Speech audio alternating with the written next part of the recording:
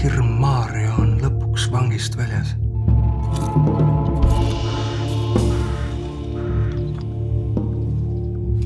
sina, šerif, oled ise Raplamaa suurim hirm, naised peksja nagu isagi